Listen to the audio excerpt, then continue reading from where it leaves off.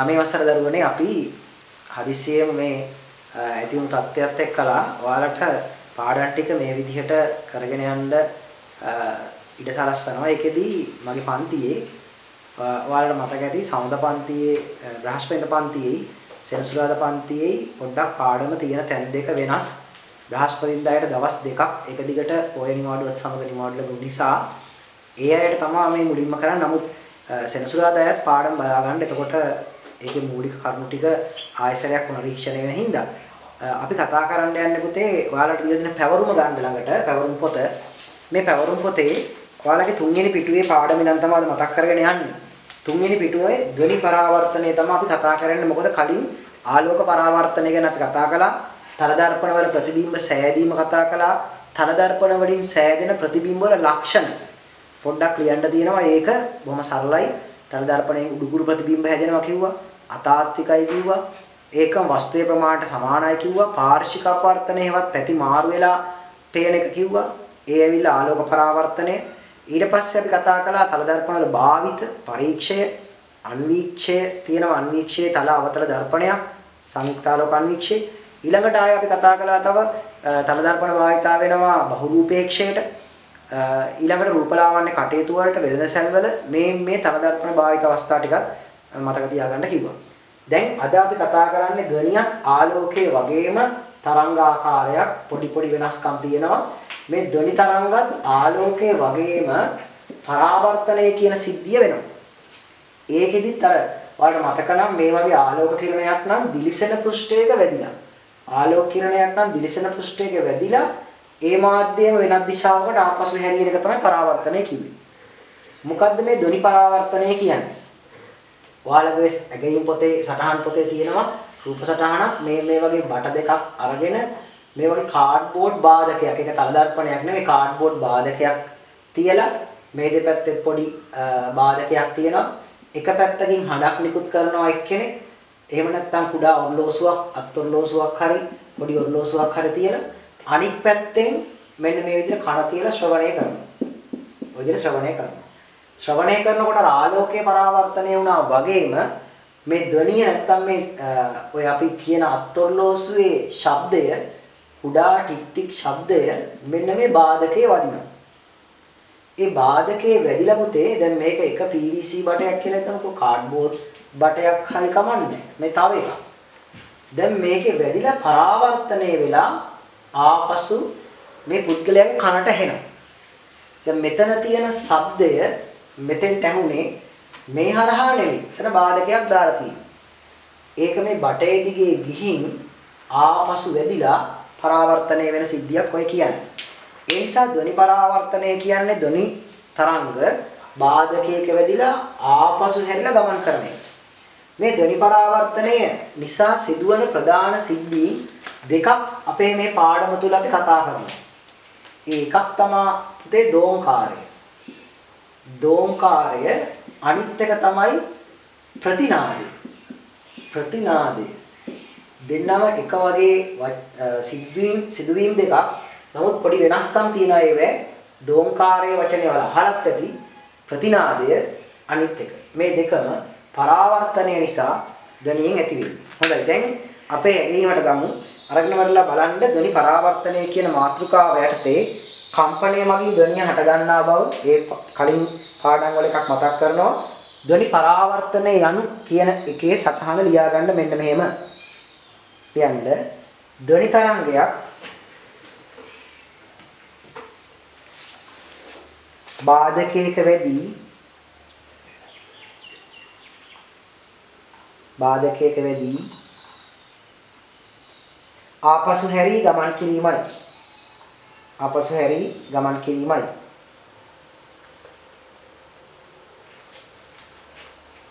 හරි ක්‍රියාකාරකම් බලන්න පුතේ. මෙන්න මේ ක්‍රියාකාරකම වලගේ රූප සටහනේ තියෙනවා තවරුමේ පිටු අංක 3 පහත රූපේ ආකාරයට PVC නල දෙකක් තබා එක් පැත්තකින් ඔරලෝසුව තබා අනෙක් පැත්තෙන් කන තැබීම නිරීක්ෂණය ඔයාලට තේරෙනවා මේ කනට ශබ්දය ඇහෙනවා. නැත්තම් හඬ ශ්‍රවණය වීම. ඔර්ලෝස්වේ හඬ ඇසීම.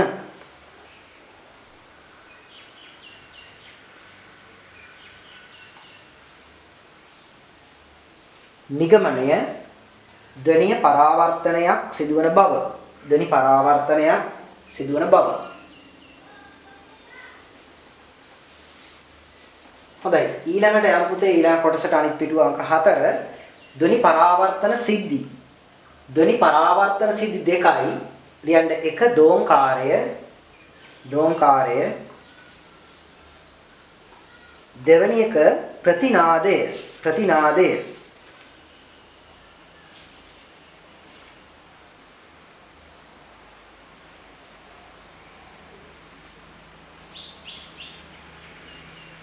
ප්‍රතිනාදය. හරි. අපි ඉස්සෙල්ලාම කතා කරන්න යන්නේ පුතේ දෝංකාරය ගැන. බලමු දෝංකාරයේ ප්‍රතිනාදයේ වෙනස්කම් තියෙනවා. මොකද්ද මේ වෙනස කියලා අඳුනගමු. දෝංකාරය. අපේ හිතමු මෙතන බාධකයක් තියෙනවා. මෙතන කවුරු හරි නිරීක්ෂකයෙක් ඉන්නවා.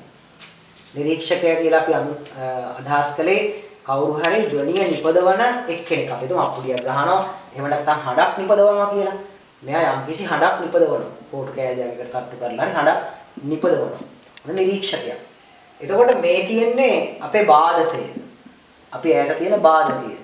දැන් අපි නිකුත් කරන හඬ මේ ශබ්දය මෙන්න මේ විදිහට ගිහින් මෙන්න මෙතන බාධකේ වැදිලා ආපසු හැරිලා මෙන්න මේ නිරීක්ෂකයාට ඇහෙනවා. මේක පරාවර්තන සිද්ධියක්. ඒ පරාවර්තනයේදී පුතේ මුලින් නිකුත් කරන හඬම ආපසු ඇහෙනවා නම් ඒක දෝංකාරය. ඒ මුලින් නිකුත් කරන හඬම ආපසු ඇහෙනවා. අපි එක කියලා කිව්වහම එක කියලා ආයෙමත් කනට ඇහෙනවා. ඒ හඬම නැවත ඇහෙනවා නම් ඒකට කියන්නේ දෝංකාරය. හැබැයි මේ දෝංකාරය ළඟ ළඟ සිදුවෙන්නේ නැහැ. ඒ කියන්නේ කුඩා කාමරයක් ඇතුලේ ඉඩ කඩ අඩු තැනක ඊළඟට රංගශාලාවක් වගේ පොඩි තැනක මේ දෝංකාරයට වැඩිය වෙන්නේ ප්‍රතිනාද. දෝංකාරයේ එලිමහන් තැන්වල බොහොම පැහැදිලිව අහන්න පුළුවන්. පිට්ටනියක් වගේ තැනක බාධකයක් තියෙන ගොඩනැගිල්ලක් තියෙනවා නම් අපි පිට්ටනිය ඉඳන් හඬක් නිකුත් කරපු ගමන් ආපහු ඒ හඬම ඇහෙනවා. ඒකෙදි ඇත්තටම එහෙම පළලක් දිගක් පළලක් ඕන වෙනවා. මෙන්න මේ දෙන්න අතර පරතරයක් ඕන වෙනවා අඩුම තරම මීටර් 16.5ක්වත්. එහෙම වෙන්න හේතුව මේකයි පුතේ. සාමාන්‍යයෙන් අපේ කනට මුලින් නිකුත් කරපු හඬ ආයිමත් කන ඇතුලේ තිබිලා අලුතෙන් හඬක් ගන්න යම් කාලයක් ගත වෙනවා. එක පාටම ඒ හඬ අපේ කනට ගන්නෙ නැහැ. මුලින් නිකුත් කරපු හඬ කන ඇතුලේ මැකී යන්නේ නැතුව ටික වෙලාවක් තියෙනවා. යම් කාලයක් යම් වේලාවක් අපේ කන ඇතුලේ මුල් හඬ තියෙනවා. ඒ කාලේ ගත වෙනකන් ඉන්න ඕනේ මේ ශබ්ද දෙවෙනි ගැහෙන්න. මේ කාලය අපේ කනේ තත්පර දශමයක් කියලා කියන්නේ. ඒ කියන්නේ තත්පර දශමයකට කලින් එන දෙවෙනි හඬ අපිට දෝංකාරයක් විදිහට දැනෙන්නේ නැහැ. ඒ නිසා දෝංකාරයක් කියන්නේ මුල් හඬම ආය අහන්න එපේ. ආය අහන්න නම් තප්පර දශමයකට පස්සේ මෙයා පතනය වෙලා පරාවර්තනය වෙලා අපේ කනට එන්න ඕනේ. ඒ නිසා මේ දෙන්න අතර තියෙන පරතරය හොයාගන්න ඔය බාධකයේ පුද්ගලයා අතර තියෙන පරතරය හොයාගන්න අපිට උදව් වෙන්නේ පුතේ සාමාන්‍ය සමීකරණයම තමයි. වේගය ගැන තියෙන සාමාන්‍ය සමීකරණය. වේගයේ සමානයි දුර බෙදීම කාලය. වාතය තුලින් ධ්වනිය ගමන් කරන වේගය සාමාන්‍ය වේගය 330යි තත්පරයට මීටර. එතකොට වේගය හරි. මේ පරතරය කියන්නේ මේ දෙන්න අතර තියෙන්න ඕනේ පරතරය අපි දන්නේ නැහැ x කියලා ගන්න. ඒ සිද්ධිය වෙන්න ඕනේ තත්පර දශමයකදී. තත්පර දශමයකදී මෙයා යන දුර කොච්චරද කියලා බලන්න ඕනේ. එතකොට දැන් ඔයාලා මේක සුළු කිරීම ගණිතෙන් දන්නවා. මේ බෙදීම සමානලකුණේ මේ පැත්තට ආපු ගමන් 330 වැඩි කිරීම දශම 1 එතකොට ඔයාලට පේනවා x සමානයි මීට 33ක් එනවා. එතකොට මේ පරතරය මම 16 සම්පායි කිව්වේ. 33ක් දුර තියෙන්න බෑ නෑ නෑ. 16.5ක් කියන්නේ හේතුව මේකයි. 33ක් කියන්නේ මුලින් හඬ නිකුත් කළේ මෙතන නම් එතන ඉඳලා ගිහින් මෙතෙන්ට මෙන්න 33ක් ඕනේ. එතකොට දැන් ඔයාලට මම කියන එක තේරෙනවද? මේ මුළු දුරම 33ක් කියන්නේ යන්න 16.5යි එන්න 16.5යි. එහෙම නැත්තම් මුළු අපි ගත්ත 33 මීට 33 දෙකෙන් බෙදලා තමයි අපිට උත්තරේ ගන්න වෙන්නේ. ඒ නිසා බාධකයයි පරතරයයි නැත්තම් මේ පුද්ගලයයි බාධකයයි අතර දුර මීටර් 33ක් වෙන්න ඕනේ නැහැ. එහෙම 33ක් වුණොත් හඬ නිපදවල මීටර් 66ක් ගින් එනවා. අපිට ඕනේ මුළු දුරම 33යි. මුළු දුරම 33ක් එන්න. එහෙනම් මෙතන ඉඳලා 16.5ක් ගින් ආපසු හැරලා 16.5. එහෙම නැත්නම් 33 බෙදීම 2 කියන පරතරයක් තමයි මේ දෙන්න අතර අවශ්‍ය වෙන්නේ. අපි වේගයේ සමානයි දුර බෙදීම කාලය කියන සමීකරණයෙන් අරගෙන තමයි මේ 33 අපි දෙකෙන් බෙදලා උත්තරේ ගත්තේ. හරි. එහෙනම් දැන් ගන්න පුතේ සටහන අපේ ලියාගමු දෝංකාරය කියන්නේ මොකක්ද කියලා. පළමු හඬ නිකුත් කර පළමු හඬ නිකුත් කර ඒ බාධකයක වැඩි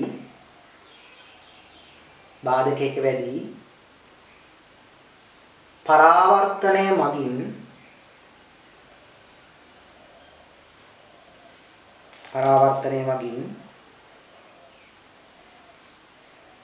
ආපසු මුල් හඬම ඇසීම දෝංකාරයයි. ආපසු මුල් හඬම ඇසීම දෝංකාරයයි.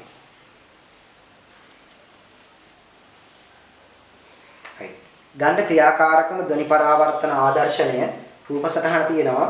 මෙතන මීටර් 17යි කියලා මම දාලා තියෙනවා ලැබුවේ පැවරුනේ.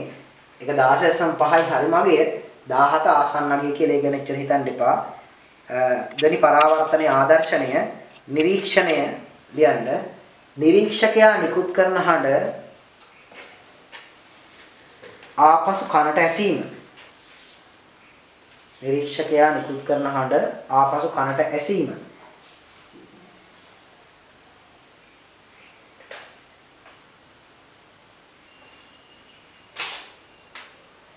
නිගමනය දෝංකාරයේ මගින් නැවත පළමු හඬම වේගය වැඩිද? දෝංකාරයේ මගින් නැවත පළමු හඬම ශ්‍රවණය වන බව. දෝංකාරයේ මගින් නැවත පළමු හඬම ශ්‍රවණය වන බව.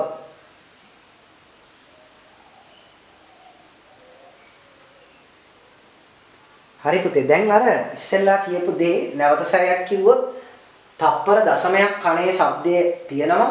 ඊට කලින් එන ශබ්ද ඇහෙනවා. හැබැයි පැහැදිලි නෑ. නමුත් තප්පර දශමයකින් පස්සේ එන ශබ්ද දෝංකාරය ලෙස නැවත මුල් හඬම ඇහෙනවා. ඒ නිසා තප්පර දශමයකදී වාතය තුලින් නම් මේ පරාවර්තනය වෙන්න ධ්වනිය ගමන් කරන්න ඕන දුර හොයන්න වේගයේ සමානයි දුර බෙදීම කාලය කියන සමීකරණයට ආදේශ කරපුවාම උත්තරේ මීටර් 33ක් එනවා. ඒ කියන්නේ මීටර් 33ක් වාතය තුලින් මේ මුල් අපි නිකුත් කරන හඬ මීටර් 33කට sorry තත්පර දශමයකට පස්සේ ඇහෙන්න නම් මීටර් 33ක් අපේ ගමන සිද්ධ වෙන්න ඕනේ. මීටර් 33ක් යන්න නම් ඇත්තටම 33ක් ඉස්සරහට යන්නයි 33ක් පල්ලෙහාට එන්නයි ඕනේ නැහැ. නැවතෙන්න ඕනේ නැහැ 33ක්. ඒතර 33 ගිහින් ආපහු එන්නම තියෙන දුර. ඒ නිසා 33ක් ආපහු ගිහින් එන්න නම් ඇත්තටම ඕනේ 33ම නෙමෙයි. ඒකෙන් භාගයයි 16.5යි. අන්න ඒ සිද්ධිය පහළ ලියවිලා තියෙනවා. හිස්තැන් ටික සම්පූර්ණ කරගන්න ඊතා ආසන්න බාධකයක ධ්වනි පරාවර්තනය මගින් ඇසෙන හඬ පැහැදිලි නොමැත. පැහැදිලි නොමැත. ඒට හේතුව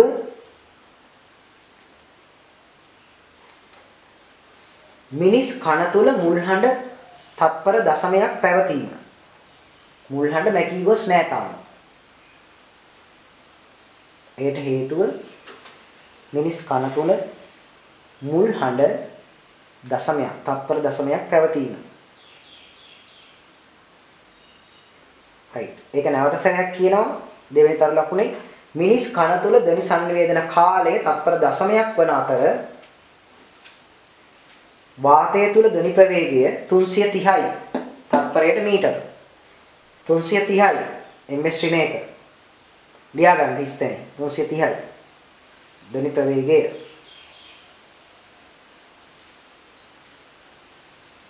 මිනිස් කන තුළ ධ්වනි සංවේදන කාලය තත්පර දශම එකක් වන අතර වාතය තුළ ධ්වනි ප්‍රවේගය 330යි ms ශ්‍රේණියක නිසා තත්පර දශමයකදී ගමන් කරන දුර මීටර් 330කි. sorry මීටර් 33කි.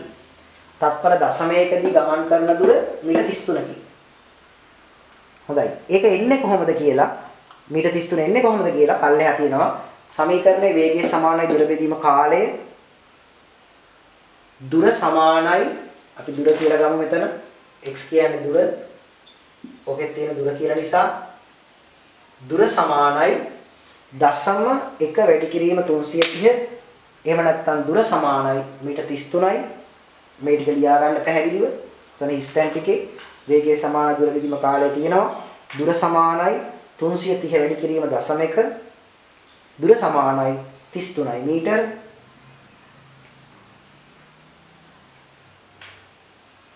ආපසු පැමිණීම සඳහා දුර මීටර් 33ක් වුවද ආපසු ගිහින් එන්න මීටර් 33ක් වුණත් බාධකයට ඇති දුර 16.5 මීටර වේ. 16.5යි කියලා එතන ලියා ගන්න. පුතේ මේ සටහන් වේගය වැඩි වගේ හිතනවා නම් ඔයාලා වීඩියෝ එක ප්ලේ වෙන එක නවත්තන්න. නවත්තලා මේ ටික ලියා ගන්න. එහෙම නැත්නම් කාලේ ගොඩක් අහක දාන්න බෑ වීඩියෝ එකේ හිස්තැන් ගොඩක් තියන්න බෑ මට. ඔයාලා ඒක තේරුම් අරගෙන වීඩියෝ එක නවත්තන්න. නවත්තලා ඊට පස්සේ ඔයාලා ප්ලේ කරන්න ආයෙසරයක් ඒ සටහන ලියා ගන්න. දැන් එහෙම තැනක් ඔයාලට එනවා. මොකක්ද ප්‍රශ්න ටිකක් තියෙනවා. ප්‍රශ්න තුන දෙකක් තියෙනවා. ඒ ප්‍රශ්න දෙකට ඔයාලා උත්තර ලියන්න ඉක්මනට මම මිනිත්තු කිහිපයක් දෙනවා. දෙනවා කිව්වට මම වීඩියෝ එක නවත්තන්නේ නැහැ. ඔයාලා වීඩියෝ එකේ ප්ලේ වෙන එක නවත්තන්න. ප්ලේ වෙන එක නවත්තලා ওই ගණන් දෙක හදන්න. ඔයාලට ඒ කාලය මම දෙන්නම්. ඊට පස්සේ ඔයාලා වීඩියෝ එක ආයෙ ඔන් කරගන්න. එතකොට මම උත්තර ටික කියයි ඔයාලා ගණන් ටික හදන්න නැතුව මම දැන් හදන් යන උත්තර ටික දාගෙන ගියොත් නම් මේ වැඩේ වැඩක් වෙන්නේ ඒ නිසා තනියම ඔය තුන්වෙනි පිටුවේ තියෙන හතරවෙනි පිටුවේ තියෙන ගණන් ටික ගණන් දෙකයි තියෙන්නේ. ඒ ගණන් දෙක ඉක්මනින් දෝංකාරයේ සම්බන්ධ ගණන් දෙකක් තියෙන්නේ. ඒ ගණන් දෙක හදන්න උත්සාහ කරන්න. වැරදුනට කමන්නේ. ඊට පස්සේ හදලා වීඩියෝ එක ප්ලේ කරන්න ගන්න. එහෙන් ප්ලේ කරාම මගේ උත්තර හරි වැරදි වල බලා ගන්න. හරි. දැන් මම ඒක හදන්න ඇති කියලා මම හිතනවා. ඔයාලා හදන්න ඕන අනිවාර්යෙන්. නැත්තම් වැඩක් නැහැ. මෙන්න ගාන මම දැන් හදනවා. ඔයාලා හදපු එක හරියද බලන්න. වාතයේ ධ්වනි ප්‍රවේගය දීලා තියෙනවා. වාතය තුළ ධ්වනිය ගමන් කරන වේගය දීලා තියෙනවා 330යි ms ශ්‍රේණයක කියලා. හරි ඊළඟට තියෙනවා බාධකයක වැඩි ආපසු යීමට තත්පර දෙකක් ගත වෙනවා කියලා. තත්පර දෙකක් ගත වෙන්නේ මේ බාධකයේ මෙයා නම් මෙහෙම ගිහින් මෙහෙම එන්න තත්පර දශම දෙකක් ගත. සෝරි තත්පර දෙකක් ගත වෙන්නේ. රයිට් මෙන්න අපේ තමු නිරීක්ෂකයා නැත්තම් අහන නිපදවන එක්කෙනා අපෙන් ඒක අහන්නේ පළවෙනි එක බාධකයේදී දුර.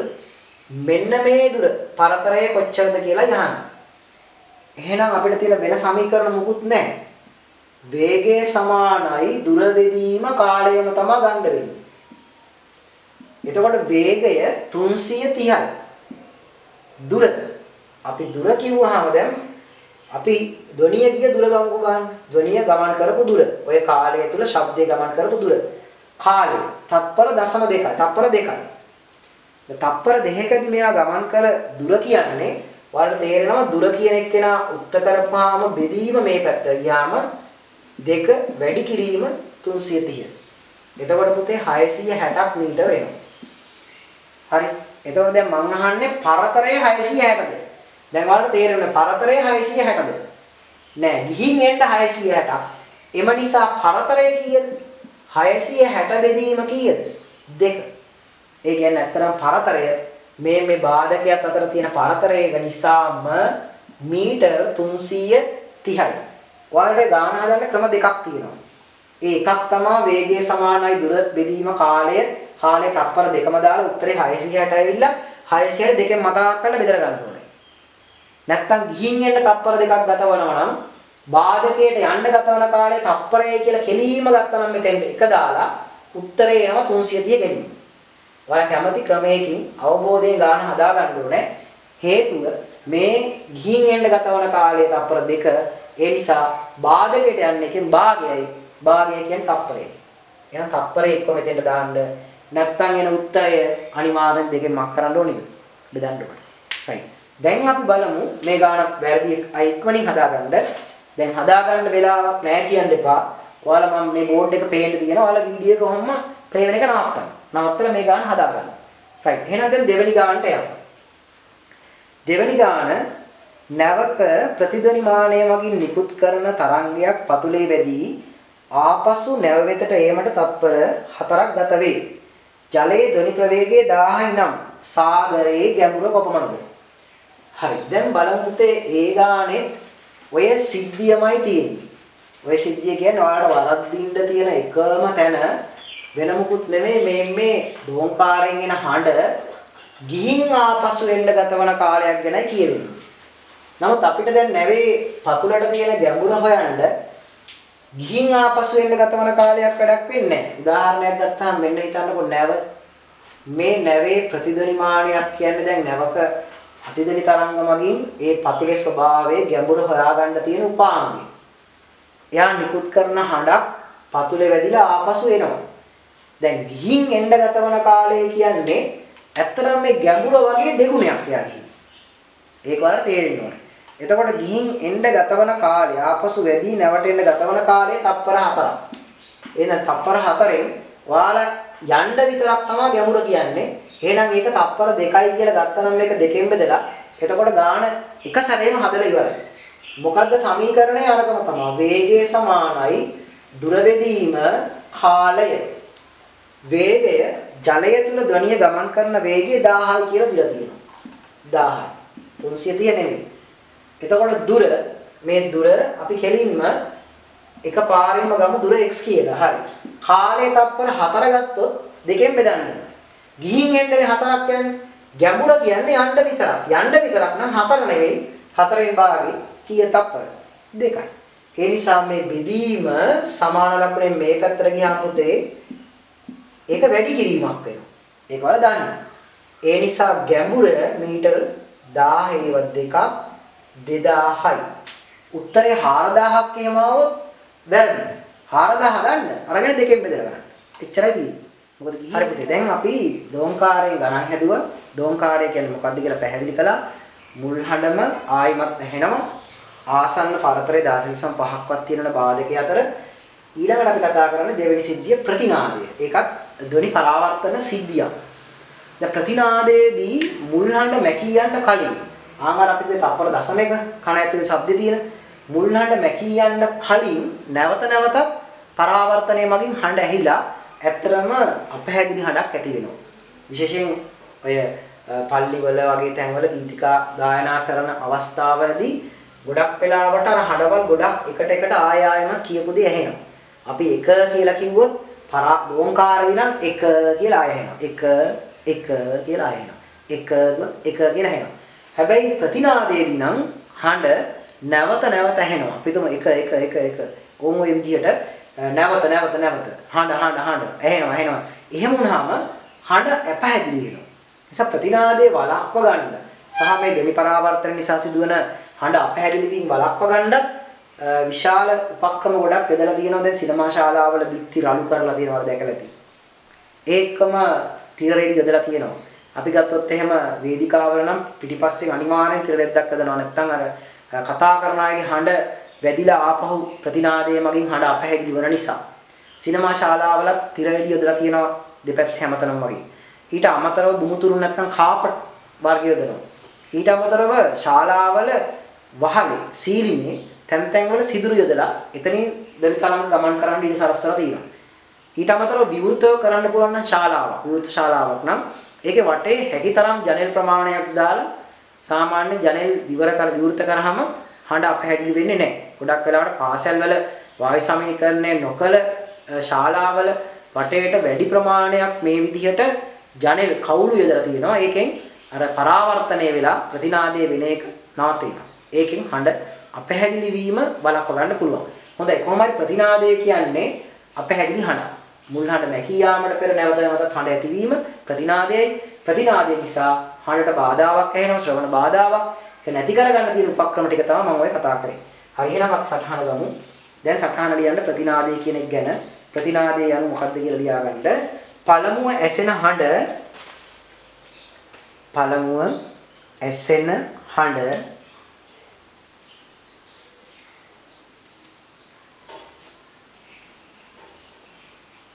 මැකී යාමට පෙර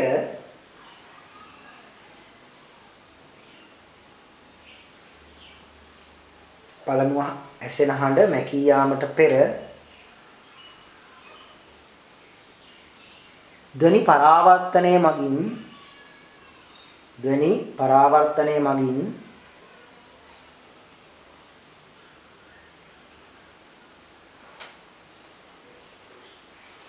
මුල් හඬ නැවත නැවතත් ඇසීමයි. මුල් හඬ නැවත නැවතත් ඇසීමයි.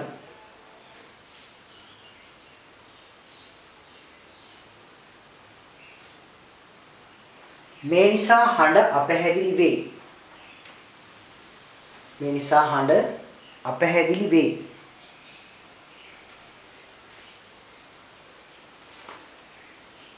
හරි. එතන හතරවෙනි පිටුවේ පල්ලෙහාම තියෙන උදාහරණ කියලා. ලියන උදාහරණය පල්ලිවල ගීතිකා ගායනා කරන විට ප්‍රතිනාදය වීම. පල්ලිවල ගීතිකා ගායනා කරන විට ප්‍රතිනාදය වීම.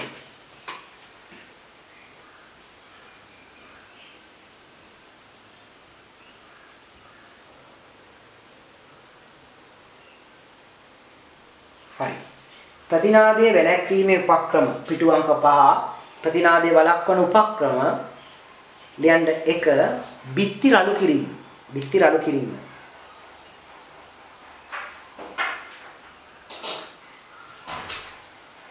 දෙක වේදිකාව පසුපස තිර තිරයක් යෙදීම. වේදිකාව පසුපස තිරයක් යෙදීම. තුන්වෙනි එක රළු තිර රෙදි යෙදීම. රෙදි යොදන ඒවත් සුමට නැහැ රළු වුණාම එහෙම නැත්නම් රැලි රැලි යොදපුවාම පරාවර්තනය වෙන්නේ උරා ගන්නවා. බිත්ති රළු කරපුවාම දැන් සුමට පෘෂ්ඨයක මේ වගේ එක වැදිලා ආලෝකයක් පරාවර්තනයටක් ගාලා වගේ ධොනියක් පරාවර්තන. නමුත් මෙහෙම රැලි රැලි තියෙනකොට මේකේ කඩතුළු තියෙනකොට අවශෝෂණය කරගන්නවා. පරාවර්තනය වීම ආවම වෙනවා. ඒ නිසා රළු බිත්ති රළු තිරරෙදි යොදන එක ඊළඟ බුමුතුරුණු යෙදීම කාපට් යොදන එක බුමුතුරුණු යෙදීම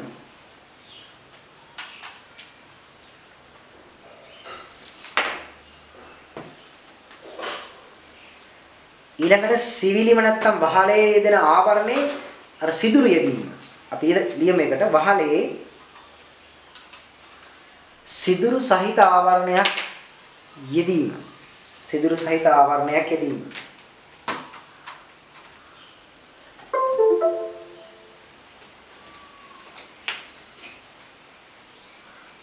සිදුරු සහිත ආවරණයක් යෙදීම. හරි. ඊළඟට ගමු ධ්වනි පරාවර්තනයේ යෙදීම්. ඇත්තටම මේකදී අපි කතා කරන්නේ අතිධ්වනි තරංග පරාවර්තනයේ යෙදීම් අවස්ථා ටික තමයි අතිධ්වනි තරංග පරාවර්තනය. අතිධ්වනිය කියන්නේ අපේ කනට සාමාන්‍යයෙන් ඇහෙන හඬක් තියෙනවනේ. අපේ කනට ඇහෙන ළමයි ඔයාලා දන්නවා මෙන්න මේ පරාසය කියලා රටේ දිගනගෙන තියෙනවා. හර්ට්ස් 20 ඉඳන් කීයටද? 20000. 20ක අඩු ශබ්ද අවධ්වනි. ඒවත් ඇහෙන සත්තු ඉන්නවා අලි වගේම. 20000ට වැඩි ඒවා. අතිධ්වනි. මේ අතිධ්වනි තරංග මිනිස් කනට සංවේදී නැහැ. හැබැයි මේ අතිධ්වනි තරංග පරාවර්තනය කරලා අතිධ්වනි තරංග වලින් ප්‍රයෝජන ගන්න සත්තු ඉන්නවා. උදාහරණයක් විදිහට බවුලෙක් ගත්තාම ඒ රාත්‍රී කාලයේ පියාසර කරනකොට මු මුඛයෙන් නිකුත් කරන ශබ්දයක්. එයා කටින් ශබ්දයක් නිකුත් කරනවා. ඒ නිකුත් කරන ශබ්දය ඉදිරියේ තියෙන බාධකයක අතිදරි තරංගයක් නිකුත් කරන්නේ ඒක බාධකයක වැදිලා ආපහු එයාටම පරාවර්තනය වෙලා එනවා. එතකොට එයා දැනගන්නවා ඉදිරියෙන් බාධකයක් තියෙනවා. ඒ බාධකයේ කොච්චර දුරකින්ද තියෙන්නේ කියන එක එයා අවබෝධ කරගන්නවා. ඒ අතිදරි තරංග පරාවර්තනය එදිනෙදා ජීවිතයේ පක්ෂීන් ඒ කියන්නේ අපි ගත්තොත් ස්වභාවිකව ජීවීන් යොදා ගන්න අවස්ථාවක් ඒක. ඊට අමතරව අපි ප්‍රයෝජන ගන්න අවස්ථා කීපයක් බැලුවොත් එහෙම.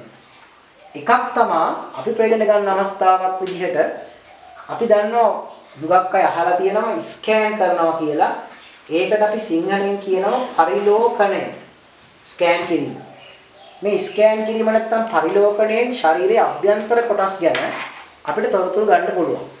උදාහරණයක් විදිහට ගත්තොත් එහෙම අපේ හෘදයේ රුධිර කොපමණ ප්‍රමාණයක් පම්ප කරනවද? රුධිර නාලවල ස්වභාව ඊට අමතරව විශේෂයෙන්ම ගර්භණී අවස්ථාවේ මවකගේ කුස තුල ඉන්න දරුවාගේ ස්වභාවය.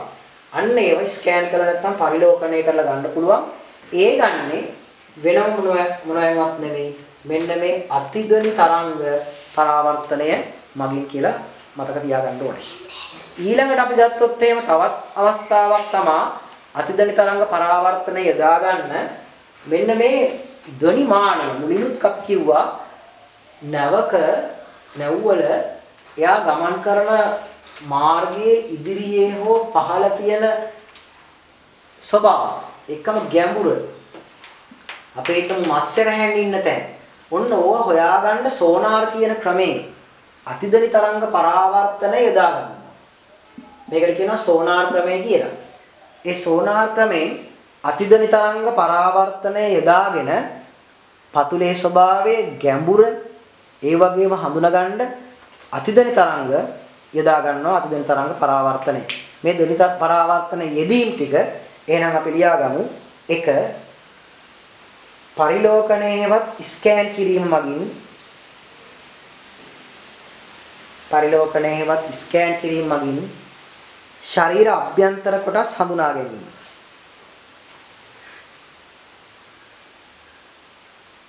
ස්කෑන් කිරීම මගින් ශරීර අභ්‍යන්තර කොටස් හඳුනා ගැනීම.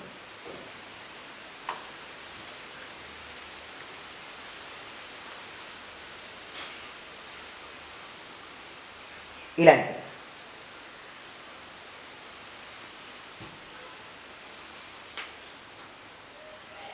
සෝනාර් ක්‍රමයේ මගින් කලින් තියෙන සෝනාර් ක්‍රමයේ මගින්.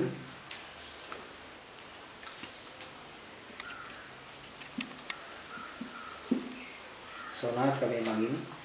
නැවක ප්‍රතිධ්වනි මානයෙන් නිකුත් කරන ප්‍රතිධ්වනි මානයෙන් නිකුත් කරන සෝනා ක්‍රමයේ මගින් නැවක ප්‍රතිධ්වනි මානය මගින් නිකුත් කරන අතිධ්වනි තරංග පරාවර්තනයෙන් අතිධ්වනි තරංග පරාවර්තනයෙන්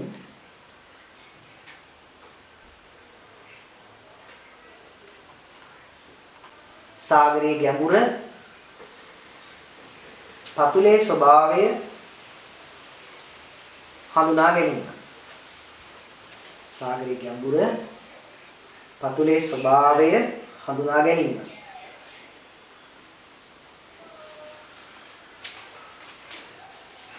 අන්තිම එක වවුලා නිකුත් කරන අතිදෙන තරංග පරාවර්තනය වවුලා නිකුත් කරන අතිදෙන තරංග පරාවර්තනයෙන්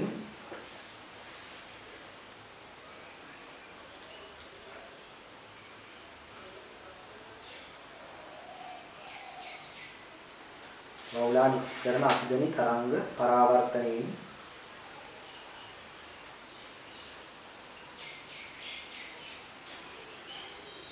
ඉදිරියේ ඇති බාධක හඳුනා ගැනීම. right. ඊළඟට පුතේ ගාණක් තියෙනවා. ඒ ගාණ කලින් දීපු જાතියම ගාණ.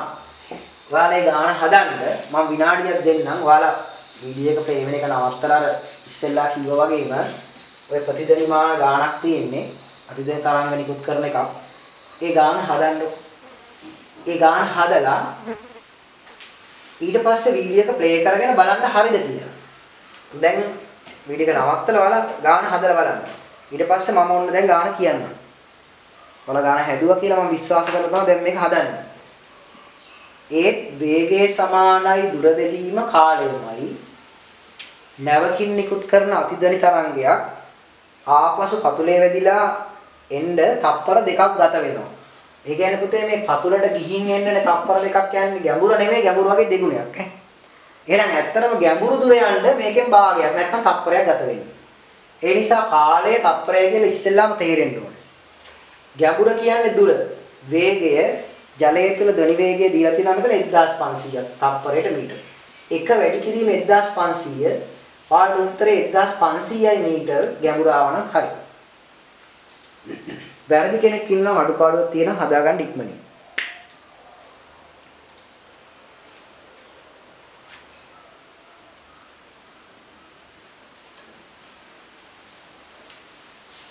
හොඳයි. දැන් සෙනසුරාදා පන්තියේ අයට පුතේ ආලෝක වර්තනයත් අපි කතා කළා අලුත් කොටස. ඒ නිසා ඒකත් ඉක්මනින් ඔයාලට කරගෙන යනවා. වේගය වැඩි වගේ ටිකක් තේරෙයි.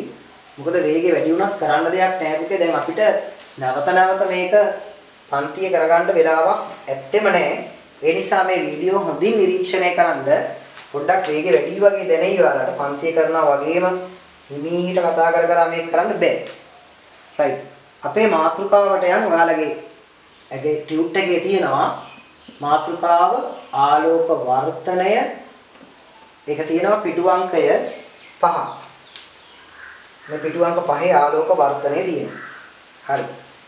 දැන් මේ ආලෝක වර්තනයත් ඔයාලා හතේ පන්තියෙත් අටේ පන්තියෙත් යම් ප්‍රමාණ වලින් ඉගෙනගෙන තියෙනවා. ඒ වගේම ප්‍රමාණයක් තමයි මෙතනත් දෙන්නේ මහා ගොඩක් ආලෝක වර්තනය ගැන කතා කරන්නේ නැහැ. නමුත් අපිට ප්‍රායෝගික පරීක්ෂණ ටිකක් තියෙනවා කරන්න පොඩි ගැටලුවක් තියෙන්නේ. ලොකු ගැටලුවක් පොඩි නෙමෙයි. දැන් ඒ උපාංග මංගාව නැහැ. ඇත්තටම පන්ති කාමරය තුර තියෙන්නේ. ඒ නිසා මේ හදිස්සි தත්ත්වය යටතේ මේක කරන්න ගියම මේවේ ක්‍රියාකාරකම් නැතුව වුණත් මං කිව්ව එකයි ඉක්මනින් කරගෙන යන්න වෙනවා. ආලෝක වර්තනය. හරි. කෙටියෙන් කියන්නම් අපේ හිතම මාධ්‍ය දෙකක් තියෙනවා. මෙන්න එක මාධ්‍යයක් අපේ හිතමු වාතය. අපි තව මාධ්‍යයක් ගන්නවා. දෙවනි මාධ්‍ය ජලය. මේ මාධ්‍ය දෙක ජල පෘෂ්ඨය වෙන් කරගන්න තැන. මෙන්න මේ වතුරයි ජලයයි එකතු වෙන තැන. ඕකට නමක් කියනවා පොදු මුහුණත කියලා. ඔකට කියන්නේ පොදු මුහුණත. දැන් ළමයි මේ ආලෝක කිරණයක් මෙහෙම වැදෙනවා මෙතන. වැදිලා මේ පැත්තටම ආපහු හරවලා එනවනම් ඕකට අපි කලින් නමක් කිව්වා. ඒ ගියපු මාධ්‍යම වෙනත් දිශාවකට හැරී එනවනම් ඒකට කිව්වේ පරාවර්තනය.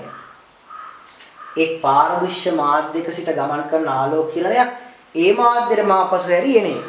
පරාවර්තනය. ඕක ඉගෙනගෙන ඉවරයි. දැන් පුතේ කියන්නේ මේ පැත්තට හැරෙන්නේ මේ දෙවනි මාධ්‍යයට වෙනත් මාධ්‍යයකට හැරිලා යනවා නම් ඔන්නෝම ඒ ගමන් කරනකොට මෙන්න මේ මාධ්‍ය දෙක වෙන් කරන පොදු මූලතේදී ගමන් මඟ වෙනස් වෙනවා නේ. කොහාට හරි ඇද වෙනවා. කොහේ හරි දිශාවකට ය ඇද වෙනවා. ඒ ඇද වෙන නිසා ඒකට අපි කියනවා නමක් කියනවා වර්තනය. මේ වර්තනය වෙනකොට පුතේ මෙන්න මේ කිරණය පතන කිරණය. ඒක පතනය වෙන කිරණයනේ. පතන කිරණය කියන්නේ ඒකයි. ඊළඟට මෙන්න යන්න ගිය පාර. ඒක නෙමෙයි වැදගත් වෙන්නේ මෙන්න මේ හැරිච්ච කිරණය. වර්තනය වුණා. වර්තන කිරණය. දැන් මේ අදින රේඛාව අර ආලෝක පරාවර්තනයේදී වගේම මේ පතන ලක්ෂයට අංශක 90ට අඳින රේඛාව අභිලම්බය. මේ අභිලම්බයේ සිට තමයි මැනීම් කරන්නේ. පරාවර්තනයේදීත් ඔයාලට මතක ඇති අභිලම්බයේ ඉඳන් තමයි මැන්නේ. අභිලම්බයේ ඉඳන් ගියා ගියාම හම්බ වෙනවා පතනයේ කිරණ වන කිරණය. පතන කිරණයත් එක්ක තියෙන නිසා ඒකට අපි කියනවා පතන කෝණය. අපි I කියලා ගමුකෝ පතන කෝණය. ඊළඟට අභිලම්බයට ගියා. අභිලම්බයේ ඉඳන් ගියා මෙහෙම. ගියාම හම්බ වෙනවා තව කිරණයක් වර්තන කිරණය. ඒ දෙන්න අතර තියෙන කෝණය R කියලා මම මේ මෙහෙම දාන්නම්. ඒකට කියන්නේ වර්තන කෝණය. වර්තන කෝණය. ඔයාලට මතක නම් කලින් පාඩමේදී ඕකම තමයි කිව්වේ පොඩි වෙනසක් තිබුණා අභිලම්බයත් එක්කයි කතා කළේ අභිලම්බ එක්ක කිරණේ පතන කෝණය හැබැයි මේක ආපහු හැරිලා ආපු නිසා පරාවර්තන ඒ අභිලම්බයත් එක්කමයි කතා කරේ පරාවර්තන කෝණය. ඔය දෙන්න සමානයි කියලා අපි ඉගෙනගෙන තියෙනවා කලින්. ඒතර මේක වගේමයි මෙතනත්. හැබැයි මෙතන පොඩ්ඩක් පැටලෙනවා ඈ. මොකද දන්නවද? මෙතන කඩ ඉරක් පෙන්වන්න පුළුවන් විභාගය.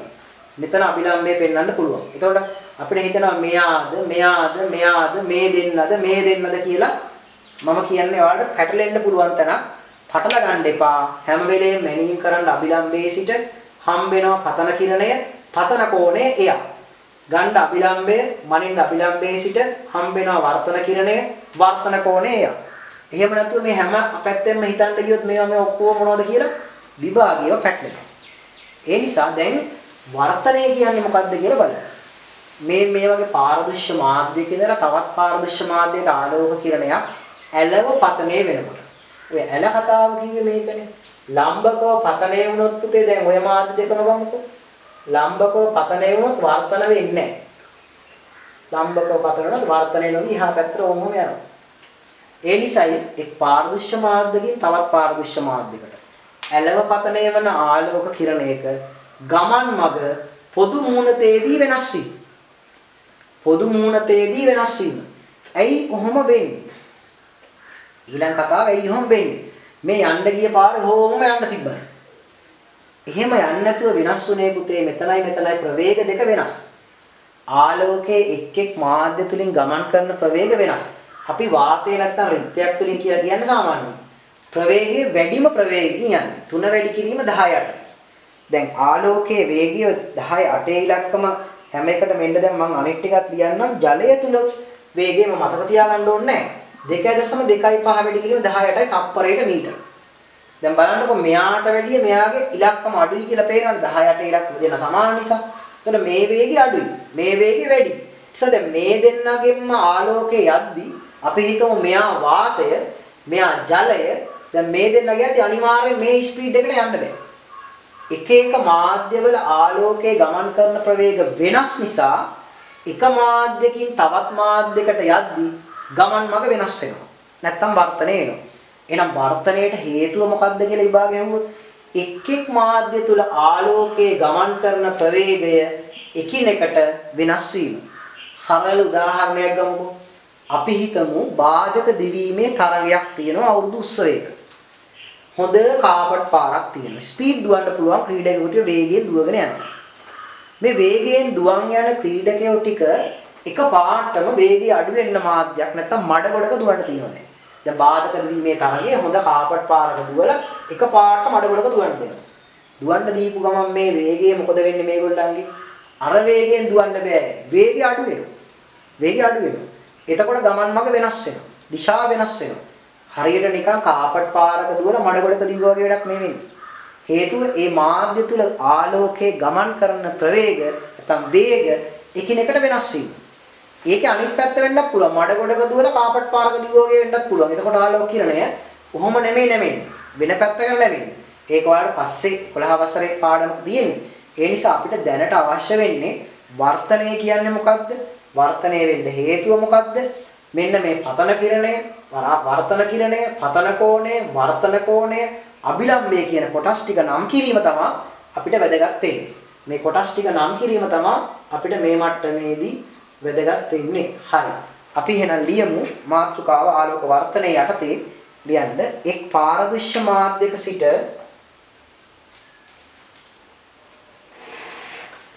තවත් පාරදෘශ්‍ය මාධ්‍යකට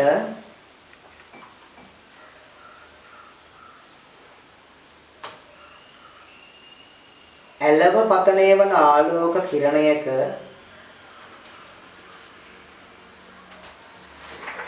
එක් පාරදෘශ්‍ය මාධ්‍යයක සිට තවත් පාරදෘශ්‍ය මාධ්‍යයකට ඇලව පතනය වන ආලෝක කිරණයක ගමන් මඟ ඇලව පතනය වන ආලෝක කිරණයක ගමන් මඟ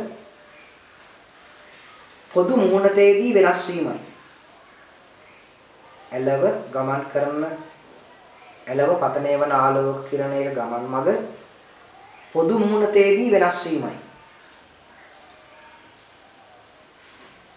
එළව ගමන් කරන ආලෝක කිරණයේ ගමන් මඟ. පොදු මුහුණත යටින් ඉරක් ගහ ගන්න පුතේ. ගමන් මඟ වෙනස් වීම යටින් ඉරක් ගන්න.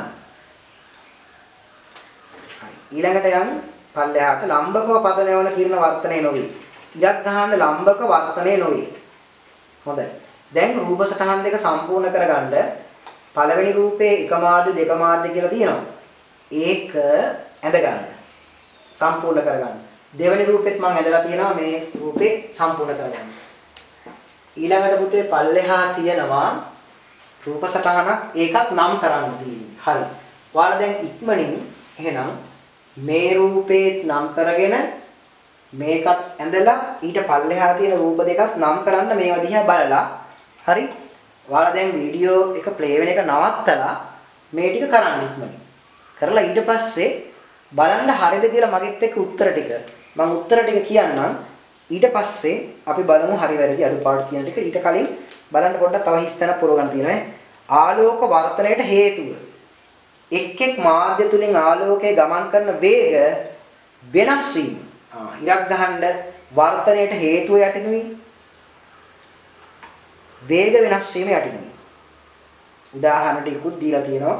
ඒක මතක තියාගන්න අවශ්‍ය නැහැ. වේග වෙනස් වීම යටින් ඉරක් ගන්න. right. දැන් නම් කරගන්න ඔයාලට පුළුවන් පැහැදිලිව ඉක්මනින් නම් කරගන්න නම් කරගෙන ඊට පස්සේ වීඩියෝ එක ප්ලේ කරන්න. දැන් ඔයාලා වීඩියෝ එක නවත්ත ගන්න. හොඳයි. ඔයාලා මට හිතෙන්නේ වැඩේ කරන්න ඇති කියලා. දැන් මේ රූප සටහනේ මෙතන උඩ එක නම් කළා. ඊළඟ එක නම් කළා. ඊළඟට පල්ලෙහා තියෙන රූපෙත් මම නම් කළා. අභිලම්බය. නම් කරලාමයි තිබ්බේ. මේක R වර්තන කෝණය. වර්තන කිරණය. ඊළඟ රූප සටහනේ පල්ලෙහා තියෙනවා මේ I පතන කෝණය. පතන කිරණය. හරි. එහෙනම් පුතේ දැන් ඔය කලින් නම් කරපු රූප සටහන උදව් කරගෙන පල්ලෙහා තියෙන ප්‍රශ්න කරන්න. ඔයාලා වීඩියෝ එක කොහොම ඔෆ් කරලා කොහොම නවත්තලා ඔෆ් කරගෙන නවත්තලා ඊට පස්සේ මේ ටික ABCD අක්ෂර ටික නම් කරන්න. නම් කරලා ඊට පස්සේ ප්ලේ කරන්න. එතකොට මම උත්තර ටික ටක් ගාලා කියයි යන්නම්. බලන්න හරිද කියලා ඊට පස්සේ. හොඳයි. ඔයාලා නම් කරන්න ඇති කියලා මට හිතෙනවා. A පතන කිරණය, B වර්තන කිරණය, C පතන වෙන ලක්ෂය, පතන ලක්ෂය, D අභිලම්බේ ඉඳන් ගියා හම්බ වෙනවා කිරණය, පතන කිරණය. ඒ නිසා D කියන්නේ පතන කෝණය. E වර්තන කිරණේ ඉඳන් අභිලම්බේ ඉඳන් වර්ත ගියා වර්තන කිරණය හම්බුණා. E තමයි වර්තන කෝණය. එහෙනම් D පතන කෝණය, E වර්තන කෝණය. ඒක දැන් ඔයාලා පටල ගන්න නිතරම පුතේ විභාගේ මේ මේ කෝණය දෙනවා. ඊළඟට තව සැරයක් දෙනවා මේ කෝණය. ඊට පස්සේ තව මේ කෝණය දෙනවා. ඊළඟට අපිට මේක A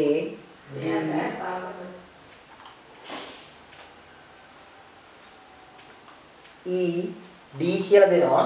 ඒ දුන්නාම මොකක්ද මේකේ වර්තන කෝණය කියලා අහපුවාම මෙයාද මෙයාද මෙයාද නැත්නම් මේ දෙන්න එකතුවද කියන එක පැටලෙයි. කිසිම අවුලක් කරගන්න එපා. ගන්න අභිලම්බේ අභිලම්බේ ඉඳලා යන්න ගියාම වර්තන කෝණය හම්බෙන්න තැන තියෙන්නේ. අන්න එතන තමයි මේ මේ වර්තන කිරණේ හම්බෙන්න තැන තමයි වර්තන කෝණය හැදෙන රේඛාව තියෙන්නේ. හරි. දැන් අපි යන් ඊළඟ පිටුව පිටු අංක 5 පිටු අංක 5 ඕකේ ඇත්තටම ක්‍රියාකාරකමක් තියෙන්නේ පුතේ. ක්‍රියාකාරකම කරන්න අපහසුයි. ඇත්තටම කිව්වොත් ක්‍රියාකාරකම කරන්න එකක් වෙලාව නැහැ. අනිත් එක සෙන්සර් පන්තියෙන් නම් මම මේක පන්තිදි කරා. නමුත් ඔයාලට දැන් මේක කියලා දෙන්නම්. මෙන්න මේ වගේ වීදුරු කුට්ටියක් අරගෙන වීදුරු කුට්ටියක වර්තන කිරණය අඩුම තරමේ අඳින්නවත් අපිට පුළුවන් වෙන්න ඕනේ. ඒක ක්‍රම දෙකකින් වර්තන කිරණය හොයාගන්න පුළුවන්. ඒකක් තමයි ලේසර් කදම්බයක් කියලා. ලේසර් ටෝච් එකක් ගහලා ඒ ලේසර් කිරණය ගමන් කරන විදිය පැහැදිලිව පේනවා. ඒ ලේසර් ටෝච් එක යන විදිය, කිරණ යන විදිය මම අඳින්නම් මෙන්න මෙහෙම මෙතන අභිලම්බයක් හැන්දොත් එකකින් ඇතුළට නැමිලා මෙතන අභිලම්බයක් හැන්දොත් එකකින් ඉවතට යන්නේ. එතකොට ඒ අඳිනකොට පුතේ මෙන්න මේ කිරණ දෙක තියෙන්නේ. දැන් මේ කිරණයයි මම මෙන්න මේ අඳින පතන කිරණයයි මේක පතන කිරණය. මේකට කියන්නේ නිර්ගත කිරණය. වර්තන නෙමෙයි. මේ වර්තන කිරණය. මේ කිරණයයි මේකයි සමාන්තරගත වෙන්න ඕනේ. විභාගෙ වෙරළත් අඳින්න කිව්වොත් ඔයාලට මේ කිරණ දෙක සමාන්තරගත වෙන්න ඕනේ. මේක නිර්ගත කිරණය. මේක පතන කිරණය. මෙන්න මේක තමයි අපි කියන වර්තන කිරණය. ඒක තමයි වර්තන කිරණය. ඒකට ඔයාලට දැන් තව එකක් තියෙනවා අභිලම්භයක් මෙතන ඇදලා දුන්නොත් මේක පතන කෝණය. මේක වර්තන කෝණය. මේකත් වර්තන කෝණය මේක පතන කෝණයට සමාන මේ දෙන්න සමාන වෙනවා. ඒකයි මේ දෙන්න සමාන්තරයි කියලා මම කිව්වේ. ඊළඟට මේකේ අමාරුම කතන්දරය තමයි අල්පෙනිත් දෙකක් අරගෙන මේක කරන එක. අල්පෙනිත් හතරක් ඕනේ. අල්පෙනිත් හතරක් අරගෙන අපි ඉස්සෙල්ලාම මෙයාව හොඳට තේරුම් ගන්න මේ වීදුරු කුට්ටියක් තියෙන්නේ. මේ වීදුරු කුට්ටියේ අපි තියනවා වීදුරු කුට්ටිය සුදු කඩදාසියක් උඩින් තියලා ඒකේ A B C D දාර දෙක ලකුණු කරගන්නවා. ලකුණු කරලා වීදුරු කුට්ටිය පැත්තකට ගන්නවා. අරගෙන අපි මේ AB ධාරයට වීදි චතුරස්‍රය මගින් හරි එහෙම නැත්නම් කෝණමානෙන් හරි අභිලම්බයක් ඇඳ ගන්නවා. ඇඳගෙන මේකට කැමති සරල රේඛාවක් ඇඳ ගන්නවා. ඒක තමයි අපි ඔය කියන පතන කිරණය එන පතන කෝණය දැන් එනවා. මේ පතන කිරණය කියලා අපි උපකල්පනය කරන මෙන්න මෙයා මත මම කිව්වා අල්පැනිති හතරක් ඕන කියලා. ඒ හතරෙන් අල්පැනිති දෙකක් හිටවනවා. අපේ හිතමු මේ P සහ Q කියන අල්පැනිති දෙක හිටෙව්වා. සිරස්ව මේ මෙහෙම එකක් මේ මනිත් එක හිටවනවා. හිටවලා අපි මෙන්න මේ CD කියන ධාරය. මේ කියන්නේ දැන් අපි දැන් ඊළඟට තියෙනවා මේ කුඩින් ওই වීදුරු කුට්ටිය ABCD වීදුරු කුට්ටිය ගාන්න තියලා අපි මෙතනින් ওই විදිහට බලලා මේ මේ දෙන්නව වැහිලා යන විදිහට. මෙන්න මේ දෙන්න වැහිලා යන විදිහට තව අල්පෙනෙත්තක් හයි කරනවා. R අල්පෙනෙත්ත. දැන් මේ අල්පෙනෙත් තුනම අපිට එක රේඛාවක පේන්නේ. අනිත් එක්කෙනා S අල්පෙනෙත්ත එයා හයි කරන අල්පෙනෙත් හතරම එක රේඛාවක පේන්නේ. යා කරලා ඊට පස්සේ අපි ගන්නවා නිර්ගත කිරණය. මේ මෙයාව ගන්නවා. ඒ ගත්තාම මෙතෙන්ට හම්බෙනවා පතන වර්තනය වෙන මේ ලක්ෂය. හම්බුනාට පස්සේ මෙන්න මේ දෙන්න යා කරලා වර්තන කිරණය ගන්නවා. දැන් හරියට ඇඳුනොත් අපේ ඇති මේ දෙන්න සමාන්තරගත වෙන්න ඕන එක වෙනම දෙයක්. අපි ඉතින් සමාන්තරගත වෙන්න ආසන්නව මේක පොඩ්ඩක් ඔන්න මේ හැඩයකට ඇඳගමු. එතකොට මේ තියෙන්නේ R සහ S අල්පෙනිති දෙක අපි කියනකොට අල්පෙනිති සමපාත කරනවා. මේ අල්පෙනති හතරම එක පෙළට පේන්න අපිට මෙතනින් බලපුවාම එක පෙළකට පේන්න තමයි හිටින්න ඕනේ. ඒක තමයි දෙවනි ක්‍රමය. ඒක ලේසර් කදම්බ යකින් ගන්නවට වැඩිය ටිකක් සංකීර්ණ. ටිකක් නෙමෙයි සංකීර්ණයි. දැන් මේ දෙන්න සමාන්තරගතව හිටිනවා. මේක තමයි වර්තන කියන්නේ. මේක වර්තන. මේක පතන. මේක නිර්ගත. අර රූපේ ඉන්නේ මෙතන. හොඳයි. දැන් ඔයාලා ලියන්න අවශ්‍ය ද්‍රව්‍ය වීදුරු කුට්ටියක් අල්පෙනිදි හතරක් සුදු කඩදාසියක් පැන්සලක් අඩි රුලක් වීදි චතුරස්‍රයක් හරි ඊළඟට ක්‍රමය අපි දෙවෙනි එකේ ක්‍රමය රූප දෙකම අඳ ගන්න වෙනවා. දෙවෙනි එකේ විදිහට ක්‍රමය ලියා ගන්න. සුදු කඩදාසිය මත වීදුරු කුට්ටිය තැබීම. සුදු කඩදාසිය මත වීදුරු කුට්ටිය තැබීම.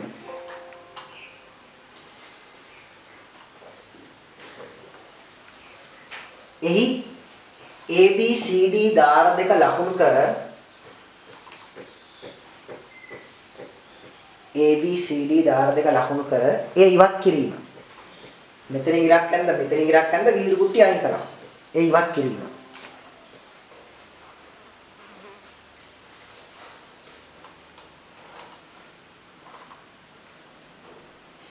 ඉන්පසු AB දාරයට අභිලම්බයක් ඇඳ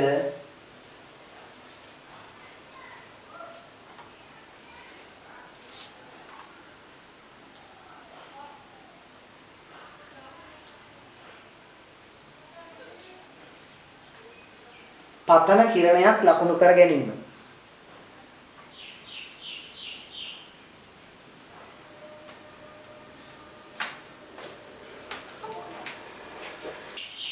PQ වල්පෙන් දෙක සවි කර ඉන්පසු වීදුරු කුට්ටිය තබා ආය වීදුරු කුට්ටිය තියනවා C D ධාරයෙන් නිරීක්ෂණය කරමින් CD ධාරයෙන් නිරීක්ෂණය කරමින් PQ අල්පෙනති වැසී යන ලෙස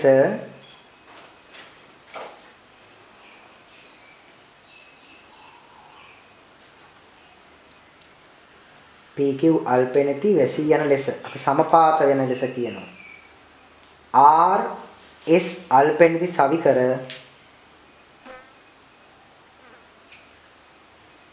නිර්ගත කිරණය ලබා ගැනීම නිර්ගත කිරණය ලබා ගැනීම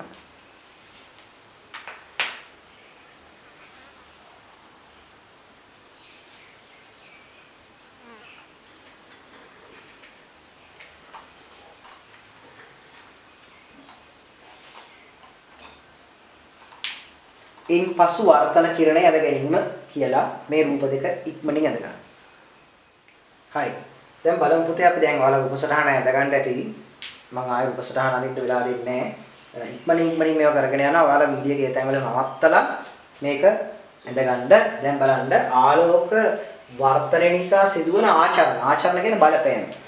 ඒ එකක් තමයි ප්‍රධානම එකක් තමයි මේ අපි දැන් වැවක හරි ජලාශයක හරි පුකුණක හරි පැත්තේ ඉඳන් බැලුවොත් අපිට මේ ගැඹුරු අඩු වෙලා පේනවා. ජලය තුලින් යන වේගයයි වාතය තුලින් යන වේගය අඩුවීම නිසා මෙහෙම පතුල මෙතන තියෙනවා නම් ඒ පතුල පොඩ්ඩක් උඩට ඉස්සිලා පේනවා. අපි ඒකට කියනවා මේකට සත්‍ය ගැඹුර. ඇත්තම ගැඹුර ඔච්චර. කැපිටල් H කියලා අපි හඳුන්වන්නේ සාමාන්‍යයෙන්. ඊට වැඩිය දුෂ්‍ය ගැඹුර. ඇත්තටම පේන ගැඹුර අඩුයි. ඒ නිසා වැවකට හරි ගඟකට හරි ජලාශයකට හරි පයින්න කලින් දෙපාරක් හිතන්න වෙයි. මොකද පේන ගැඹුරට වඩා වැඩි ගැඹුරක් එතන තියෙන්නේ. දුෂ්‍ය ගැඹුර අඩුවෙන් පේන්නේ සත්‍ය ගැඹුරට වැඩියි. ඉතින් ඕක බලන්න විද්‍යාගාරේ කරන්න තියෙන ක්‍රියාකාරකමක් තමයි නැවතත් කතා කරන්න තියෙන්නේ. මේ වගේ මිදුම් සරාවක් අරගෙන මිදුම් සරාවකට කාසියක් පතුලට දානවා. ඒ කාසිය දැම්මට පස්සේ මේ මේ විදිහට ජලය දාලා මේ ජල පෘෂ්ඨයේ උඩ ඉඳන් තියෙන ගැඹුර පෘෂ්ඨේ නම් මයින් උඩ තැන ඉඳන් ඒකට අපි කියනවා සත්‍ය ගැඹුර කැපිටල් H. මේක ඇත්තම ගැඹුර මෙච්චර මීටර උඩේ මෙන්න. අපි උඩින් මේක බලනවා. උඩින් කාසිය දිහා බලනවා.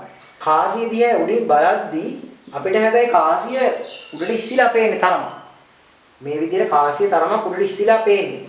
මේ කාසිය කොච්චරක් උඩට ඉස්සිලා පේනවද කියලා බලන්න කාසිය ප්‍රතිබිම්බේ නැත්තම් කාසිය පේන තැන අපිට ලකුණු කරන්න බෑ මෙහෙමයි කියලා. ආ මෙතන පේන්නේ මෙතන පේන්නේ කියලා කියන්න බෑ. ඒකට තමයි අපි මේ ආධාරකයක් සහ අල්පෙනෙත්තක් උදව් කරගන්නේ.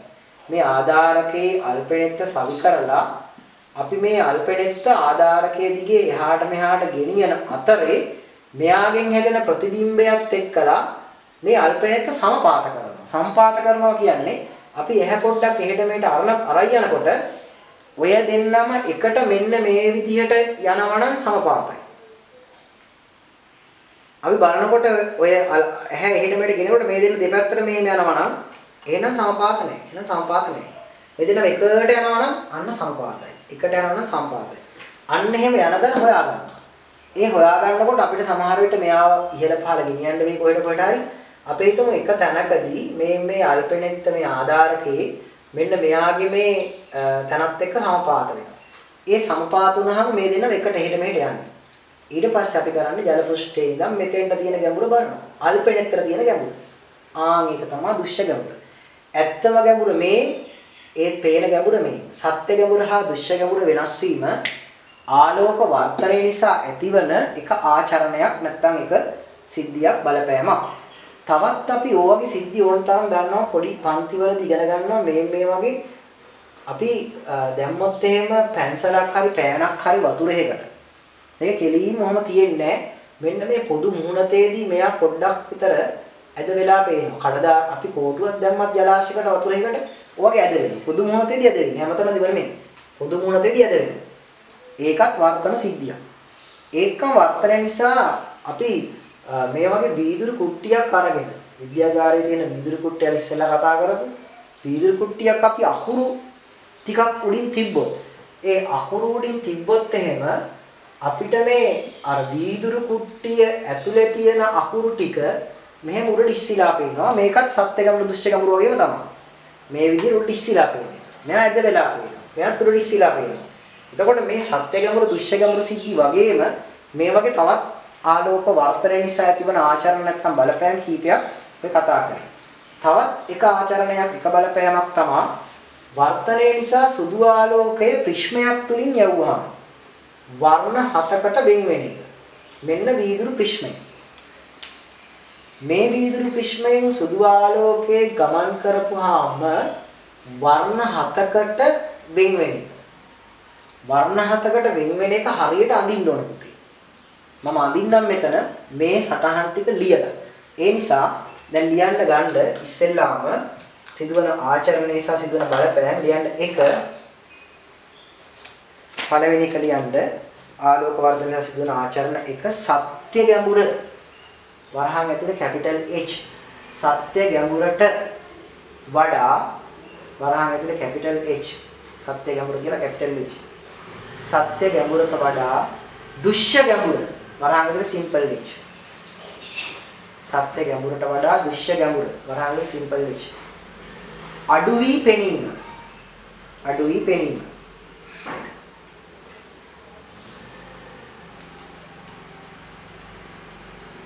හරි ක්‍රියාකාරකම එලියා ගන්න.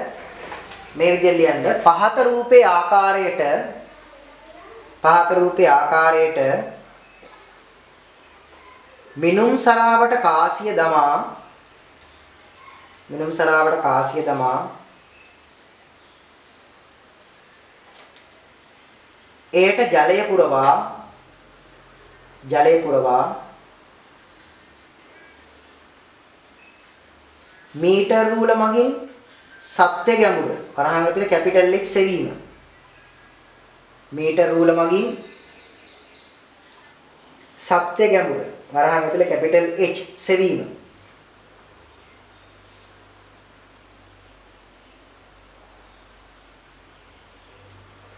ඔයාලා මෙතන ආධාරකය කියලා නම් කරගන්න.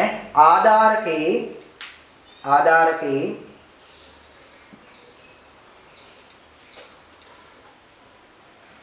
අල්පෙනෙත්ත සහ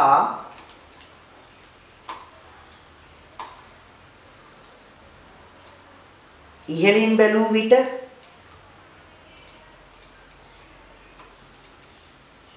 කාසිය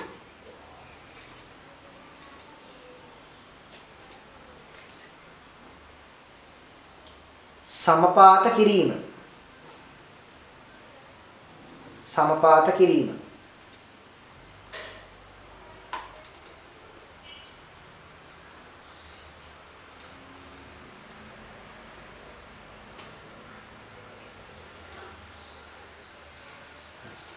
දැන් නිරීක්ෂණය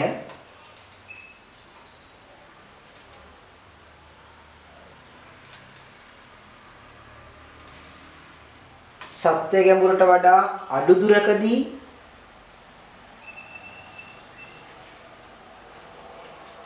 සමපාත වේ. සමපාත වෙනවා කියන්නේ දෙන්නම එකම විදිහට ගමන් කරනවා. සමපාත වේ.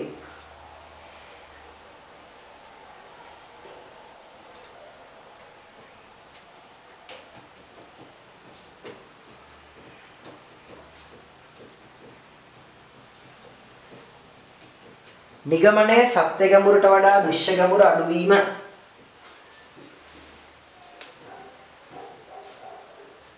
හරි.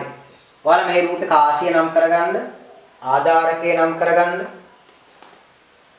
ආධාරකේ නම් කරගන්න අල්පෙනෙත්ත නම් අල්පෙනෙත්ත හරි නැත්තම් පැන්සල හරි කමන්නේ පෑන හරි කමන්නේ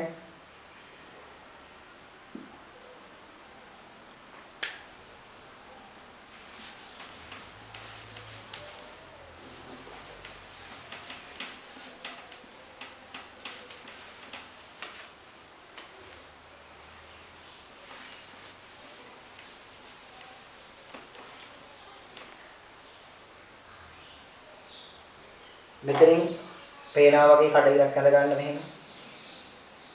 මේකෙදි කඩිරක් ඇඳ ගන්න. right.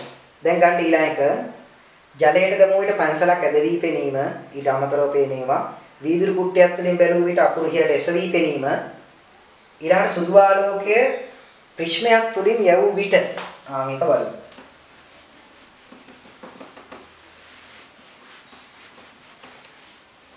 හරි අපි මේ වීදුරු ප්‍රිස්මයක් මෙහෙම අදින්නේ මේ වීදුරු ප්‍රිස්මයට සුදු ආලෝකය යවුවාම එයා වර්ණ හතකට වෙන් වෙලා පේනවා. මේකට කියනවා අපි නමකුත් වර්ණ අපකිරණය කියලා. වර්ණ වලට වෙන් වෙන එක. ඇත්තටම වර්ණ අපකිරණය වෙද්දි පුතේ දැන් මේ ළමයි ඉහළට යන එක්කෙනා උතනින් පහළ නැවෙන්න ඕනේ මෙතනනුත් පහළ නැවෙන්න ඕනේ නැත්තම් වැරදි. වර්ණ වලට බෙදෙන්නේ මෙතනදි නෙවෙයි. මෙතනදි බෙදෙන්නේ. මෙතන ඉඳන් බෙදෙන්නෙත් නැහැ. ඔයාලා කරන වැරදි මං කියන සමහර අය මෙතන ඉඳන් දැන් හතට බෙදලා අඳිනවා. සමහර අය මෙතෙන්ට ගත්ත අනික වෙලා හතට බෙදයි නෑ. මෙතනදී හතකට බෙදෙන්නේ. වර්ණ හතකට බෙදෙනවා. ওই වර්ණ හතකට බෙදෙන එකට තමයි අපි කියන්නේ වර්ණ අපකිරණය කියලා. සුදු ආලෝකයේ වර්ණ හතකින් හැදිලා තියෙන්නේ. ඒ වර්ණ හත අර අපි පොඩි පන්ති වල රන් තැමිලි කඩන කොල්ලෝ නිල්ලිබ්බන් දහි කියලා රන් හතු තැමිලි කඩන කහ ඒ වගේ අර අපි නම් හතක් නම් මතක තියාගත්තේ රන් තැමිලි කඩන කොල්ලෝ කොළ නිල් ඉබ්බන් දකි තව පාටක් එන්න ඕනේ දම් පාටක් අපි කොහෙන් හරි අඳිමු. ඒ විදිහට වර්ණ හත දම් වර්ණ හතක් තියෙනවා. ඉතින් මේ සුදු ආලෝකයේ වර්ණ හතකින් හැදිලා තියෙනවා කියලා මුලින්ම කිව්වේ නිව්ටන්. ඒකට උදව් කරගත්තා නිව්ටන් තැටිය. හරි. දැන් ඔයාලා හරියට රූප සටහන අඳින්න ඕන. දැන් මේක නවත්තලා වීඩියෝ එක ඔයාලා ප්ලේ වෙන එක මේ රූපේ හරියට මෙතනින් පහළට මෙතනින් පහළට වර්ණ හත පිළිවෙලට ඇඳ ගන්න. අඳින්න වෙලාවදී අරගෙන ඔයාලා මේ මේ ටික ලියා ගන්න. දැන් ඇඳලා ඉවරලා ලියා ගන්න. ඔයාලා වීඩියෝ එක ප්ලේ කරගෙන මේ මේ ටික ලියා ගන්න. සුදු ආලෝකයේ ප්‍රිස්මයක් තුලින් යවුවට ලියන්න. වර්ණ හතකට වෙන්වීම හේවත් අපකිරණයේ සිදුවීමයි. අපකිරණයේ සිදුවේ. වර්ණ හතකට වෙන්වීම හේවත් අපකිරණයේ සිදුවේ. අපකිරණයේ සිදුවේ.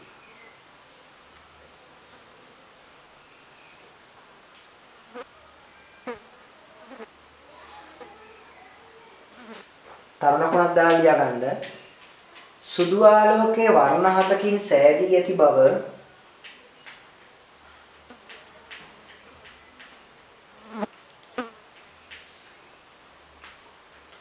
මුලින්ම අනාවරණය කරන ලද්දේ මුලින්ම අනාවරණය කරන ලද්දේ සර් අයිසෙක් නිව්ටන් විසිනි. සර් අයිසෙක් නිව්ටන් විසිනි.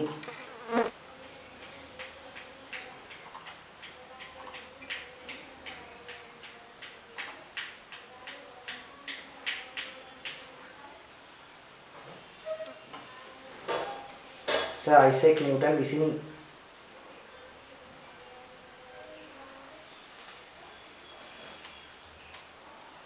මේ සඳහා වූ යොදාගත් නිව්ටන් තැටිය භ්‍රමණය කර මේ සඳහා වූ යොදාගත් නිව්ටන් තැටිය භ්‍රමණය කර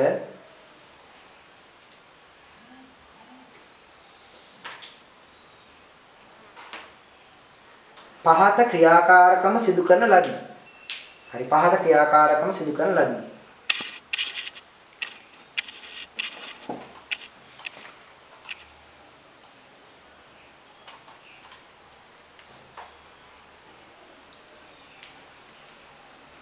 හරි දැන් සුදු ආලෝකයේ වර්ණ හත තියෙන තැටි වලගේ පල්ලෙහා උතන තියෙනවා මේ වර්ණ හත තියෙන තැටියේ රන් තැඹිලි කඩන කොල්ලෝ නිල් ඉබ්බන් දකි කියන වර්ණ හතම තමයි රන් තැඹිලි කඩන කොල්ලෝ නිල් ඉබ්බන් දකි කියලා වර්ණ හත ඒ වර්ණ හතම ලකුණු කරලා තියෙනවා රතු තැඹිලි කහ කොළ නිල් දම් ඉන්ඩිගෝ කියලා. ඒ වර්ණ ටික නම් කරලා තියෙනවා. ඒ වර්ණ ටික තියෙන තැටිය භ්‍රමණය කරනවා. භ්‍රමණය කරපුවාම මේ වර්ණ ඔක්කොම මිශ්‍ර වෙලා අවර්ණ වෙනව නැත්තම් සුදු පාටක් එනවා. ඒකට හේතුව වර්ණ හතකින් හැදිලා තියෙන එක කියලා තමයි නිගමනය කරන්නේ. ලියන්නේ නම් නිරීක්ෂණය තැටිය භ්‍රමණය වන විට අවර්ණ වීම.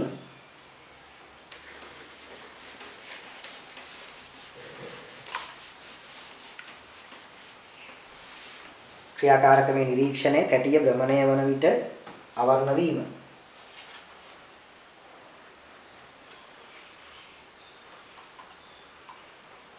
නිගමනය සුදු ආලෝකයේ වර්ණ හතකින් සෑදී ඇති බව.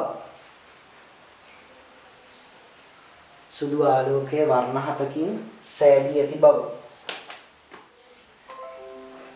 හරි එහෙනම් සුදු ආලෝකයේ වර්ණ හතකින් සෑදී ඇති බව නිගමනය. දැන් බලන්න දේ දුන්න ඇතිවීම.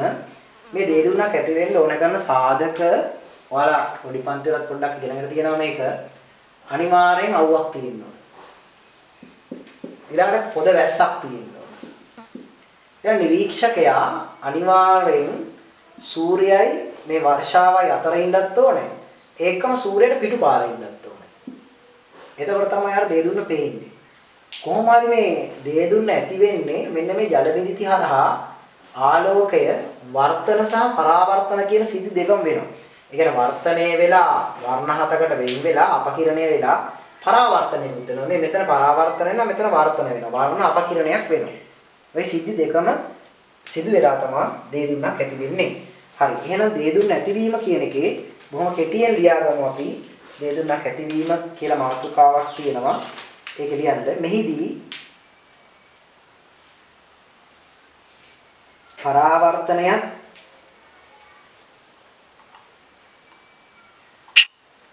වර්ණ අපකිරණයත් සිදුවීම මගින් ජල බිඳිති හරහා සූර්යාලෝකයේ ගමන් කරන විට ජල බිඳිති හරහා සූර්යාලෝකයේ ගමන් කරන විට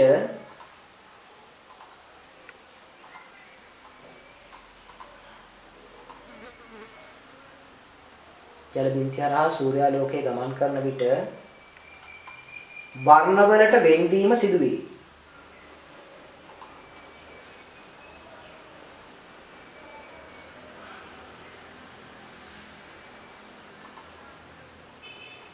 ඒ ප්‍රිශ්මයක අපකිරණයට සමාන ක්‍රියාවකි. ප්‍රිශ්මයක අපකිරණයට සමාන ක්‍රියාවකි.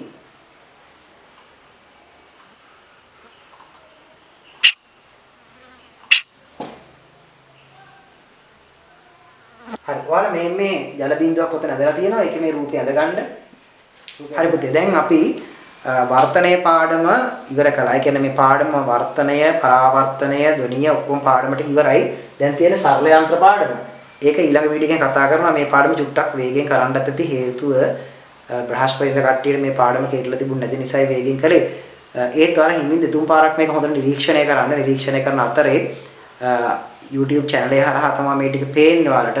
නිසා YouTube channel එක අපේ නිතරම අවධානයෙන් ඉන්න කොයි වෙලේ හරි පාඩම් ටික නැවත නැවත අප්ලෝඩ් කරනවා අපි. ඒව බලන්න බලලා ඔය පැවරුම ඉවරනකම් කරමු. පියවරම ඉවරුනාට පස්සේ ඉදිරියේදී ඇඳෙන නීති තත්ත්වේ නැති වුනහම ඒත් පන්ති තියන්න බැරි වුණොත් ඔයාලට පැවරුම් ටික පන්තියේදී ලැබෙන්න සලස්සලා ගෙදෙට්ට පාඩම් ටික මේ විදිහට YouTube channel එක හරහා බලන්න දෙනවා. එහෙනම් ඔක්කොටම ආයිබෝවන්